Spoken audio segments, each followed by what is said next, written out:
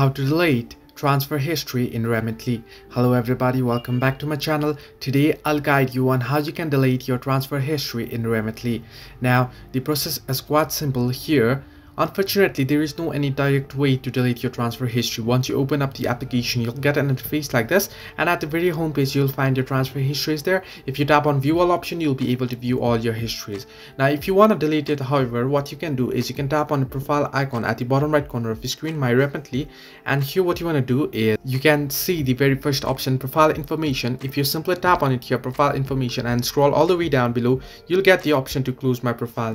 Now here you can see if you select this option, I understand that I want and if you close your profile now if you just close this profile and if you create a new profile then your entire history and your details account details will be gone as well. So this is the only way that you can delete your transfer history. There is no any other way. Hope this helped you. Do like and subscribe and do not forget to leave a comment down below if you have any further issues